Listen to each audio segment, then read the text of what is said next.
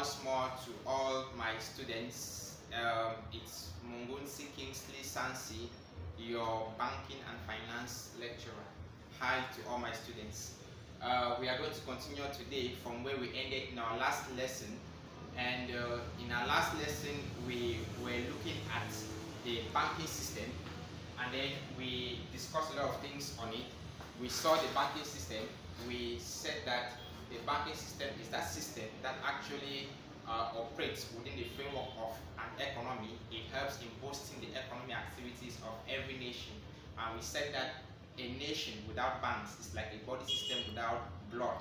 So it means that banks are very necessary in every economy because it helps boost the economy and of course it has a lot of functions in an economy.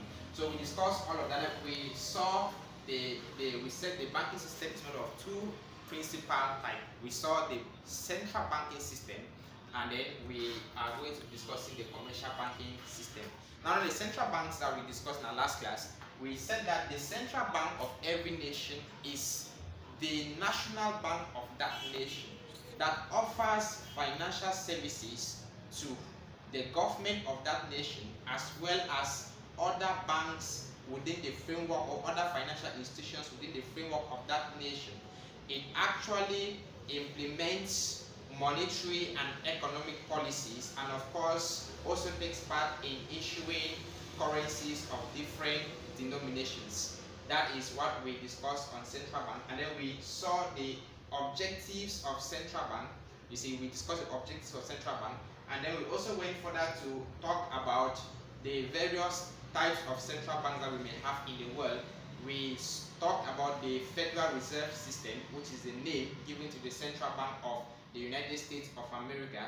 We also went as far as discussing the Bank of England, which is the Central Bank of England. We went as far as discussing the Central Bank of Nigeria.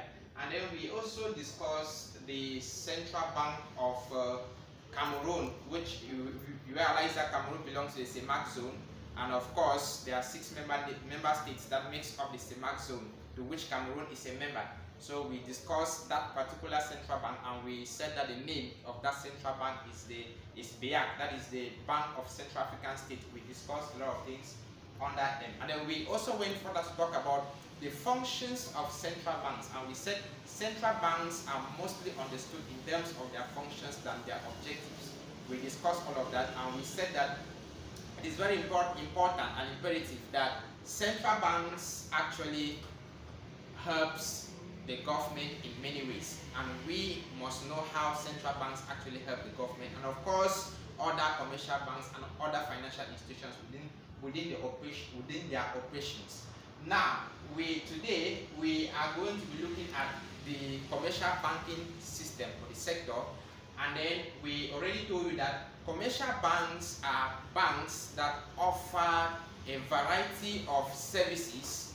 These are banks that offer a variety of services ranging from accepting of deposits lending those deposits to customers offering basic investments products to the public and we said that the central bank actually does not deal with the public unlike the commercial banks that actually deal with the public. So now we today we are going to be looking at the central the commercial banking system. And we said that the commercial banks actually is divided into two. We have what we call the scheduled commercial banks and we have the non-scheduled commercial banks. Now, when we talk of the scheduled commercial banks, we are simply saying that those are commercial banks that are normally scheduled within the framework of an economy. And there are three types of scheduled commercial banks. We have the very first one is uh, the private sector banks. We have the second type, which is the public sector banks. We have the third type, which is the foreign banks. Now, beginning very quickly with private sector banks. These are banks that are owned by businessmen within the framework of a nation. And these private sector banks are profit oriented. Realize that any bank that is owned by a business person within the framework of an economy is gearing towards profit maximization, profit and wealth maximization. So these banks are banks that are owned by private individuals within the framework of an economy with the sole objective of maximizing profit. Now the next category of commercial banks are we call, uh, public sector banks. Now these public sector banks are banks, commercial banks that are owned by the government. You see, now these are banks that are owned by the government and managed by the government. And now these banks are not out to maximize profit unlike private sector banks. Their main objective is not to maximize profit, you see. Now, we generally refer to them as public sector banks. We shall be discussing, we shall be seeing a sample of some of them in our due course, or in the, due, in the, uh, in the course of our lecture. Now, the third category of scheduled banks, scheduled commercial banks, are what they call foreign banks. Now, foreign banks are banks that are owned by foreigners, foreign investors.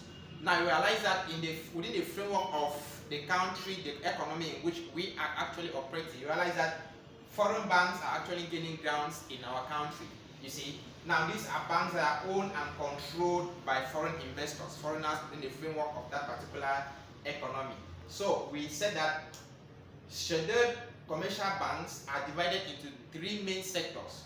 We have the private sector banks owned by private individuals we have the public sector banks owned by the government, and then we have the foreign banks owned by foreign bodies of international, uh, foreign organizations or bodies who actually are also aimed at maximizing profit. Now, we see that uh, out of these three banks, the only bank that is geared towards maximizing profits is the private sector banks and of course the foreign banks. Now, let's look at types of commercial banks types of commercial banks. What are the various types of commercial banks or the various forms of commercial banks? Commercial banks can take so many forms. You see, commercial banks can take so many forms. The very first form of commercial bank is called the exchange bank. The exchange banks. You see, now exchange banks are banks that are principally created to actually facilitate exchange of currencies there are banks that actually facilitate international trade by exchanging, uh, you know, currencies from uh, of different uh, different denominations. Now we talk about industrial banks. These are banks that are there to encourage uh, heavy industries by giving long-term loans to these industries to actually carry out their production or to facilitate their production process. So these are banks that are there to actually grant heavy loans to industries that actually need those uh, loans. Now, we also have what we call agricultural banks. These are banks established to actually encourage agricultural sector by giving loans to the agricultural sector to help boost the agriculture, uh, to help boost those who actually are involved or involve themselves with farming. Now, we have what we call corporate, cooperative banks. Now, what are cooperative banks?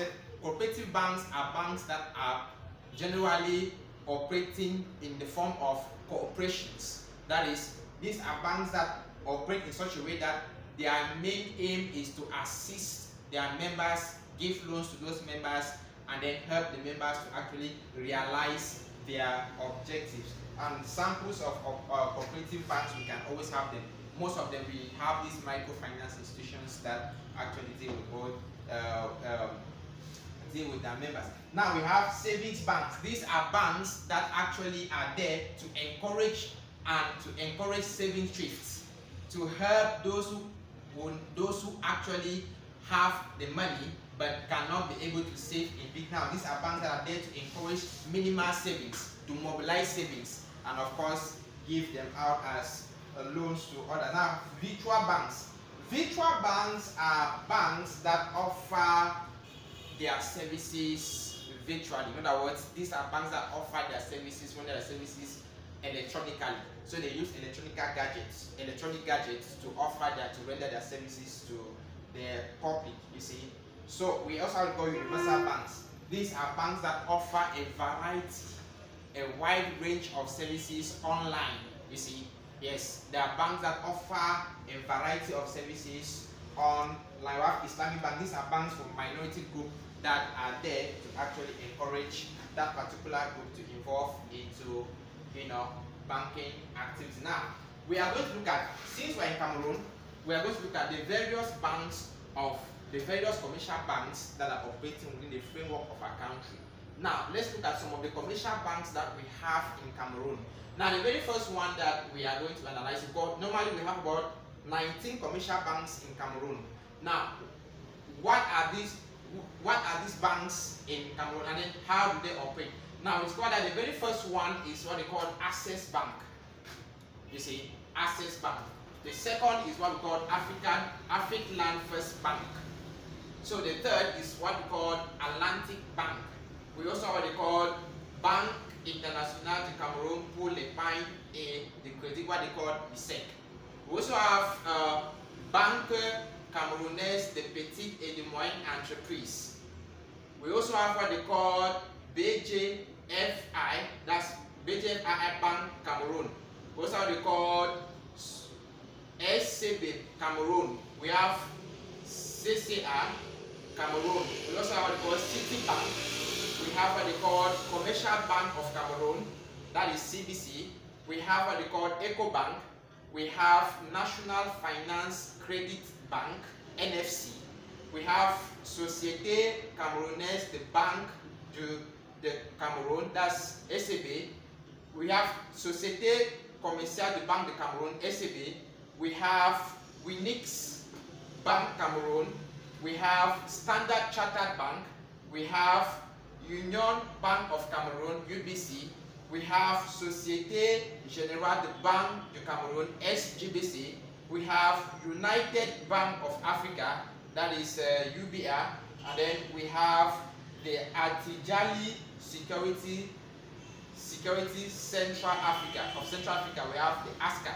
Now, these are the 19 commercial banks that we have operating within the territory of uh, Cameroon. Now, what are the functions of commercial banks? What are the functions of commercial banks? You see, now just like in the last lesson, we discussed the functions of commercial banks. In this lesson, we are going to be discussing the functions of commercial banks. What are the functions of commercial banks? Realize that generally, commercial banks actually have as a main function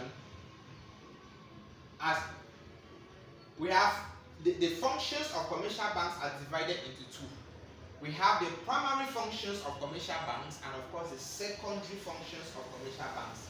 The primary functions of commercial banks are also called the principal functions or the fundamental functions of commercial banks. Now, the secondary functions of commercial banks normally are also called the subsidiary functions of, of commercial banks. Now, what are the primary functions of commercial bank? The very first thing that commercial bank does as function is they accept the receipt of deposits. They accept deposits. Now, these deposits are accepted on three different accounts. We have what they call the demand deposit account, otherwise known as a current account. We have what they call the savings account, the savings deposit account, and finally we have what they call fixed term deposit account. Now, when commercial banks accept deposits, these deposits will be accepted on, on the basis of these three different accounts. Now, the demand deposit account is that account in a commercial bank that guarantees no interest, earn no return earn on that account to the account holder. In other words, the account holder instead pays charges to the bank for safeguarding that customer's money, the account holder's money. And these account holders are mostly created by businessmen. Because in this account, cash is often withdrawn at any moment, at any given time. Because depositors of this account are not limited as the number of withdrawals in this particular account. And therefore the bank actually